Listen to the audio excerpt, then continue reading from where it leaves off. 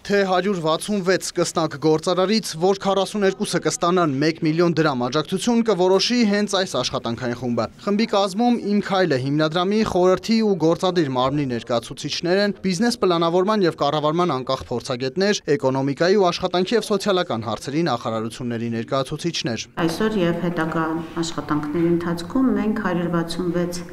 հայտատուից կընտրենք 42 շահառուի, որի համար մշակել մշակված են գնահատման թերթիկներ,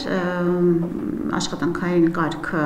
մշակված է։ Գործընթացը պետք է առավելագույն թափանցիկ լինի, գումարը պետք է արդարացի բաշխվի առաջին նիստին ընդգծեց Աննա Հակոբյանը հատկապես որ շարունակական բնույթ է ունենալու եւ այս կայացած բիզնեսից նորաստեղծ բիզնեսին աջակցության այս ֆորմատը մենք պատրաստվում ենք շարունակել դարձնել տարեկան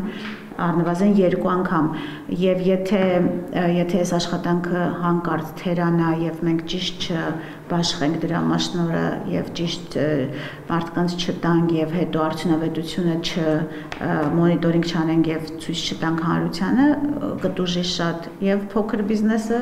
հետագա որ կարող էր ստանալ եւ ամենա ամենավերջում հիմնա դե հեղինակության հարցի բայց այն ինչը անում ենք անում ենք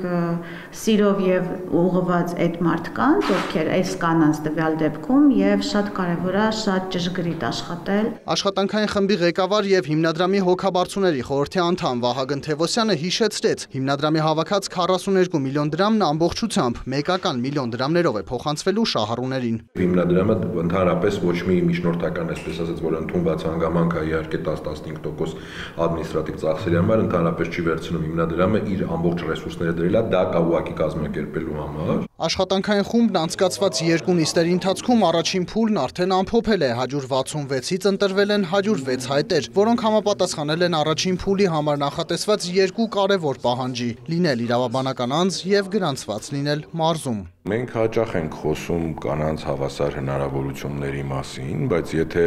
մենք իրոք ուզում ենք այդ հնարավորությունները հավասար լինեն, ապա պետք է իմանանք, որ պարզապես հնարավորություն տալը շատ ինքնանպատակ է, եթե ամեն օր դրանից հետո հետևողականորեն չես աշխատում այդ հնարավորությունների կատարելագործման ուղղությամբ Այս ծրագիրը ըստ էության կապ է ավելի հաջողակ կին գործարարների եւ նոր իրենց բիզնեսը սկսող մարզերում բնակվող գործարար կանանց միջև ուղիղ կապ է ըստ էության, որը ինչպես ուշադրություն է հրավիրում կին գործարարության զարգացման վրա, այդպես էլ ուղիղ կապ է ստեղծում այդ երկու խումբ կանանց միջև եւ ավելի հաջողակները ուղիղ օժանդակություն են ցուցաբերում միջին մանր բիզնեսով զբաղվող մարզաբնակ կանանց։ Առաջիկայում կմեկնարկի երկրորդ փուլը։ Աշխատանքային խումբը կսկսի ուսումնասիրել եւ ֆիլտրել 106 հայտերը, այս անգամ արդեն կուսումնասիրվի դիմողի բիզնես պլանը եւ շուկայում դրա մրցունակությունը։ Երկրորդ փուլը անցած հայտերին ուղարկվելու արդեն հայտերի լրացման պրոֆեսիոնալ ձևաչափ կտրվի ժամանակ նրանց հայտերը լրացնելու եւ հետ ուղարկելու համար եւ արդեն ստացած հայտերը գնահատման արդյունքում կորոշվեն 42 հաղթողները։ Հաղթողներին ընտրելուց հետո բնականաբար նրանց հետ կապ կհաստատենք,